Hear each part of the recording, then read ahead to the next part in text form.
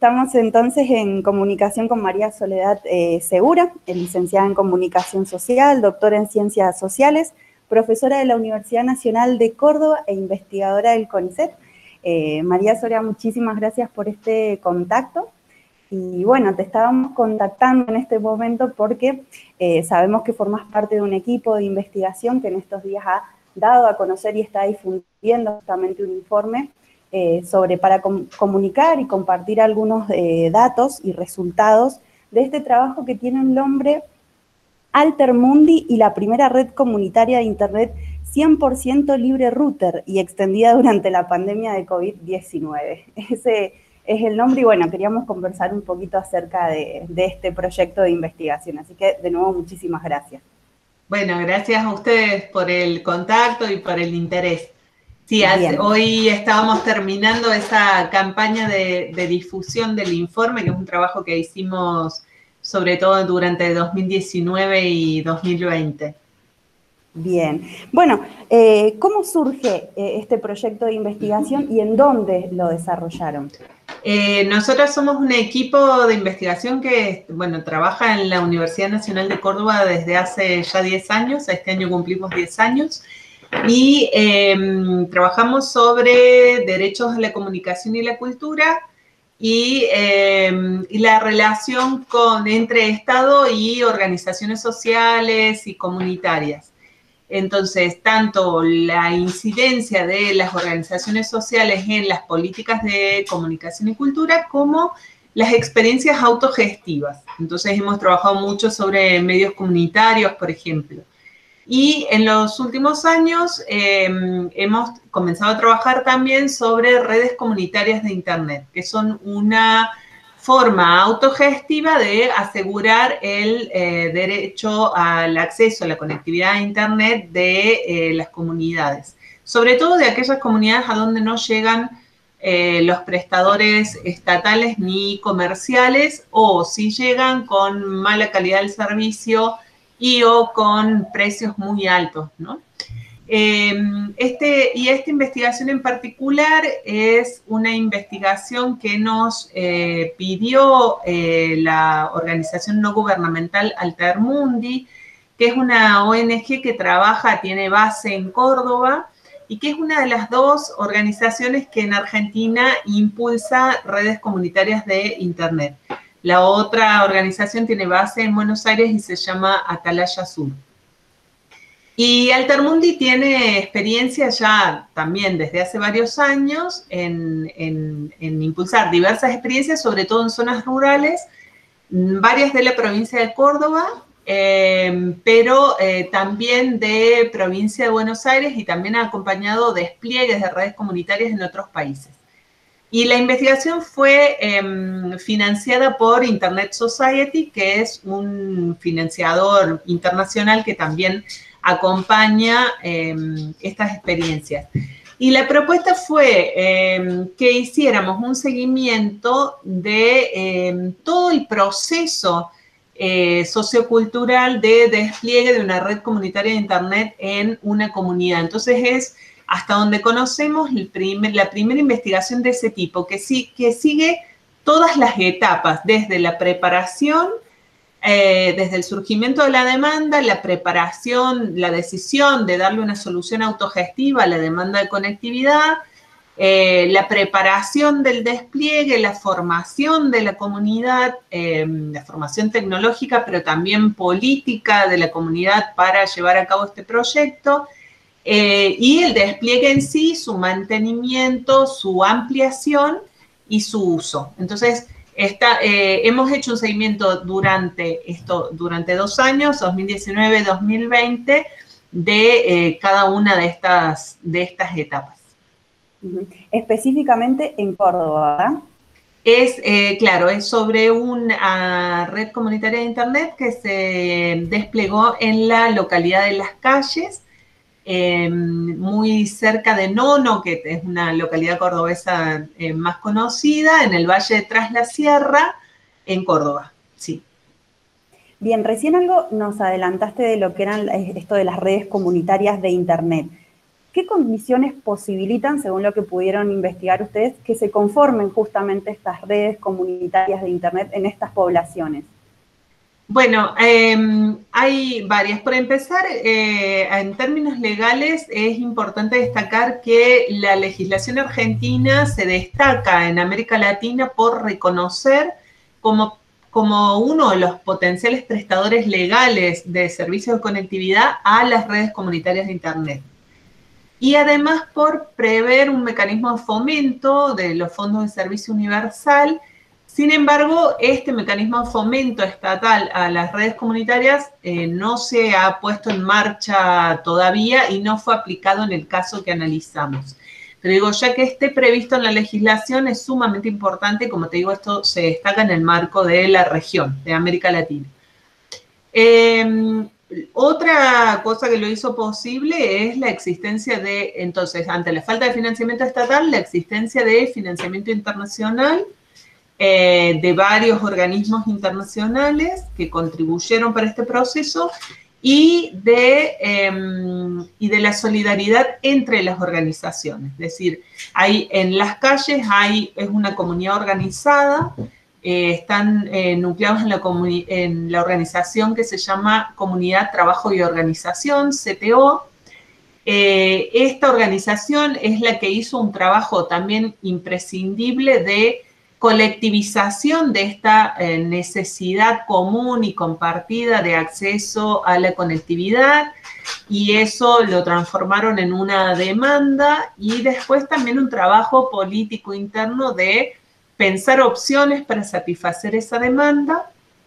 Y allí surgió esta opción de eh, esta opción autogestiva. Ahí se ponen en contacto con Altermundi, conocen las experiencias que Altermundi impulsa y mm, surge esta cooperación entre organizaciones, digamos. Entonces me parece que hay un trabajo interno, no me parece, es lo que planteamos en el informe, hay un trabajo interno de esta comunidad organizada, eh, que es un trabajo, como te digo, un trabajo político interno, y también de vínculo con otras organizaciones. Entonces hay allí esta cooperación entre estas dos organizaciones, pero también han participado otras, otras redes comunitarias de Internet de Córdoba que ya están en funcionamiento, que también han colaborado tanto con materiales como con formación y ayuda para solucionar problemas y orientaciones.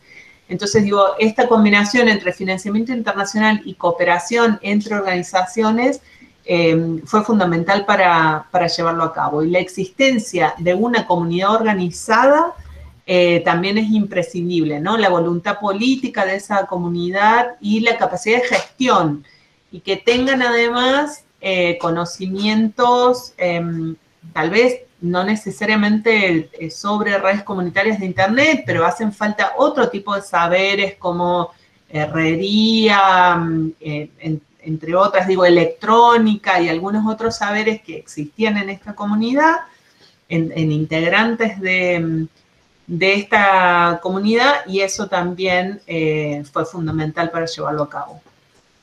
Bien, en relación a esto y un poco lo que podíamos leer del, informe, una de las estrategias que recomendaban justamente para promover estas redes de Internet eh, tiene que ver, decía, con propiciar un cambio de perspectiva sobre tecnologías digitales y de conectividad.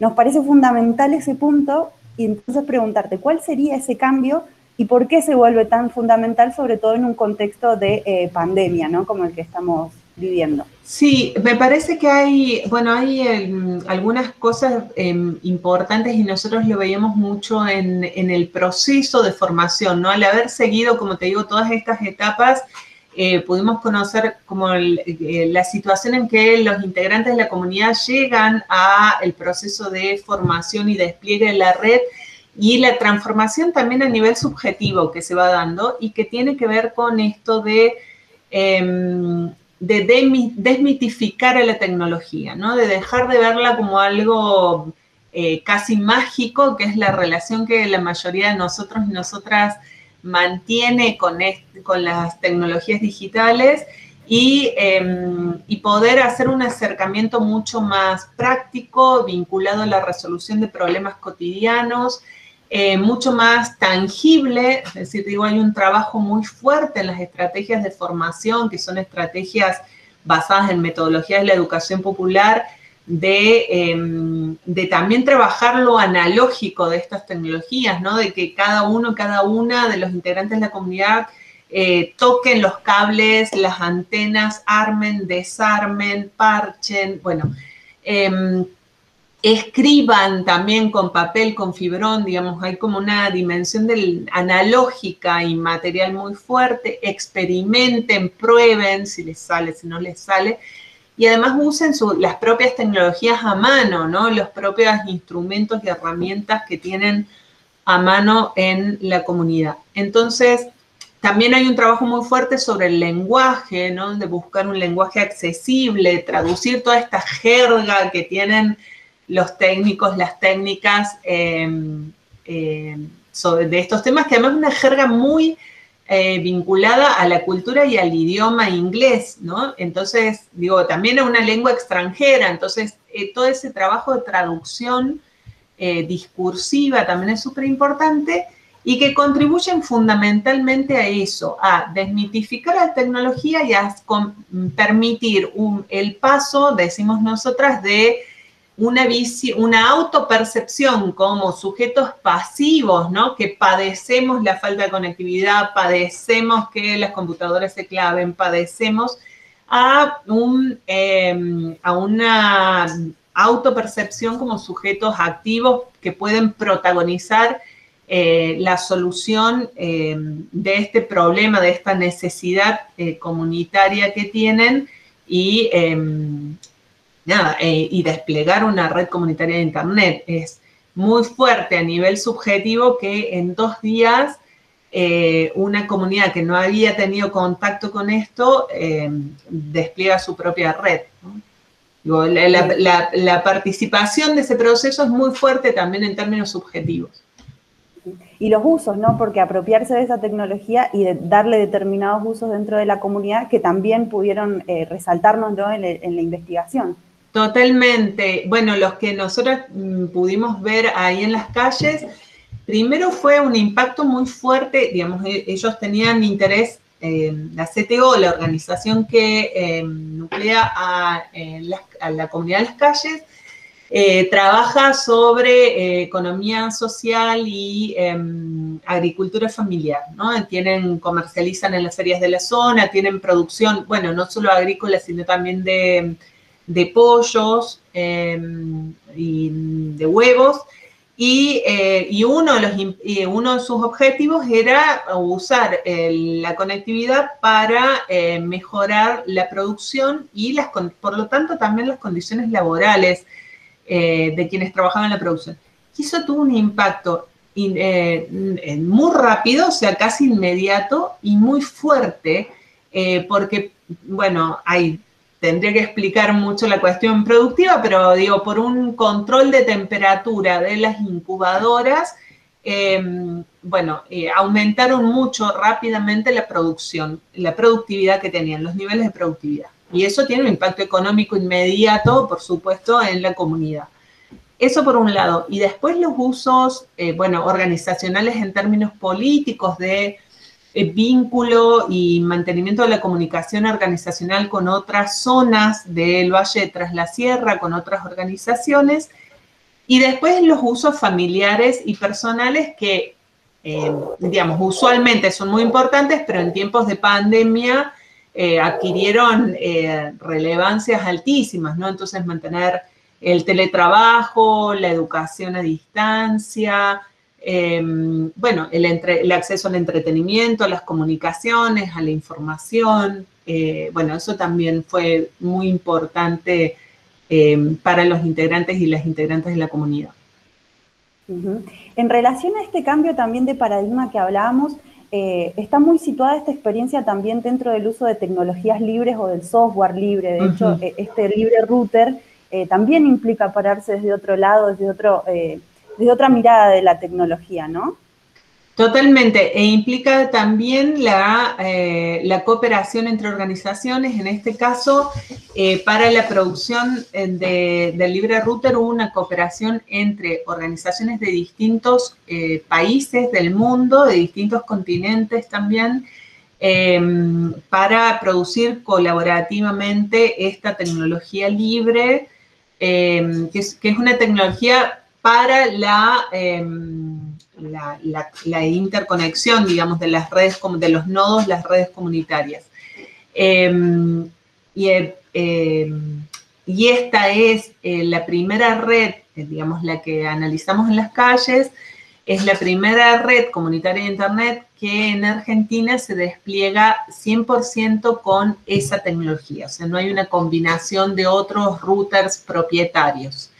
Em, y, también es una, estamos, eh, hemos confirmado que es una de las primeras de su tipo en eh, América Latina. Y hay una, una de las demandas de las redes comunitarias de Internet de Argentina es justamente que, em, que, el Estado promueva también el desarrollo de las tecnologías libres para eh, redes comunitarias y que eh, elimine o reduzca las tasas o gravámenes a la importación de elementos eh, que todavía no son producidos en el país. Bien. Eh, en relación a esto, ¿sabes que este tipo de experiencias mejora o permite disminuir esta brecha digital de la que tanto se habla o, combatir un poco esta desigualdad en el acceso a, a estas tecnologías y en particular a Internet?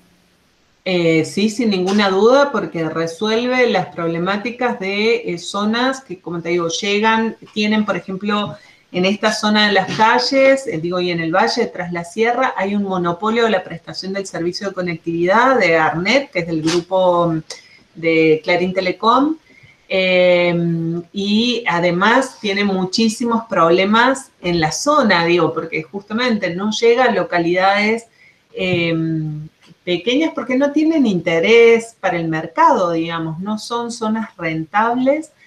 Eh, cuando llegan no llegan con buena calidad y eso sin contar con, por ejemplo, los problemas de electricidad, em, de energía eléctrica que hay en la zona em, y que sobre todo en ciertas temporadas, como las temporadas de lluvias, en el verano tienen mayores problemas, cuando hay sobrecargas por la temporada turística, que también es en el verano, eh, sobrecargas en el uso, también hay problemas.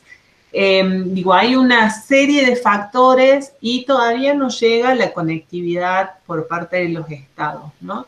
Entonces, también lo que planteamos en el informe como conclusiones, como recomendaciones, es em, que se sostenga este reconocimiento eh, legal a las redes comunitarias de Internet como otros prestadores no lucrativos del servicio de Internet, del mismo modo, junto con los comerciales y con los estatales, del mismo modo que se hace con los medios de comunicación. Em, eso por un, por un lado, y también que se provea fomento estatal para, em, para estas redes, ¿no? Porque digo, son una opción, son una opción, sobre todo en zonas no rentables, pero no solo, o sea, puede haber, digo, hipotéticamente podría haber eh, zonas o comunidades que definan y decidan por determinadas razones que tienen que ver además, sobre todo con opciones políticas de soberanía tecnológica, adoptar este tipo de tecnología, este tipo de, opción. Bien, bueno, yo por último, si hay algo que después eh, quieras agregar que se nos haya escapado un poco de este informe, no hay drama, pero en realidad preguntarte qué posibilidades existen de que esta experiencia pueda ser replicada en otras zonas de, Argentina. Me pongo a pensar también acá específicamente en Mendoza, donde las zonas rurales están, y en este contexto, eh, muy, eh, digamos, alejadas de, de las zonas, de las ciudades más grandes, donde justamente no hay conectividad. ¿Pensás que hay posibilidades de replicar esta experiencia? Sí, sin ninguna duda, y de hecho no es la única experiencia existente en Argentina, digo, hay varias experiencias. En Córdoba, solo en la provincia de Córdoba, hay varias experiencias, digo, hay, eh, que impulsó el Tarmundi en el Valle de Calamuchita y también en el Valle de Tras la Sierra, antes de esta red que se llama el Valle Reinicia, Em, ya existía en el Valle de Tras la Sierra Nono Libre y eh, parte de la expansión del Valle Reinicia implicó la interconexión con la red Nono Libre y ahora están trabajando en la interconexión con las redes del Valle de Calamuchita. Digo, porque como utopía las redes comunitarias piensan que también es posible no solo hacer redes comunitarias en localidades pequeñas, sino además interconectarse entre ellas. Em, y eh, digo, eso, ya existen, pueden ser replicadas, han surgido otras después de este, eh, de este informe que hemos hecho. Y, una particularidad que muestra esta necesidad imperiosa que, que vos comentás es que cuando hicimos en, en, estas últimas dos semanas esta campaña de difusión del informe, nos escribieron de muchas eh, localidades de provincias argentinas interesadas eh, en, este tipo de alternativa. ¿sí? Y en Argentina tenemos gente formada que sabe hacerlo, que tiene experiencia en esto, así que sin duda que es posible. Sí, sobre todo me paro, eh, de hecho, bueno, esta entrevista es para un medio comunitario, la televisión comunitaria, y como medios comunitarios estas experiencias son, digamos, políticamente muy importantes para, para desarrollar, ¿no? Totalmente. Bueno, uno de los factores también muy importantes es la, compatibilización entre, en lo nosotros decimos, entre los marcos interpretativos, ¿no? Entre desde dónde cada organización y cada comunidad piensa el mundo, ¿no? Y en este caso que hemos analizado había una compatibilidad entre que se construyó, además en términos políticos, entre la idea de soberanía alimentaria que impulsa la CTO y la idea de soberanía tecnológica que impulsaba el Termundi. Y me parece que va en la misma línea, por ejemplo, trabajar el derecho de acceso a Internet con el derecho a la comunicación que trabajan los medios comunitarios. Bien, bueno, María Soledad, nos vamos a tomar el atrevimiento también de difundir este trabajo de investigación porque entendemos también que que merece ser conocido y, es una experiencia que, como decís, puede ser replicada en muchos lugares. Así que más que agradecida por, por este contacto y por todo lo que nos contás de, tu informe. Bueno, buenísimo. Muchísimas gracias a ustedes. Bueno, que andes muy bien y bueno, te mando un abrazo muy grande y seguramente seguiremos en contacto. Igualmente, abrazo. Gracias. Adiós.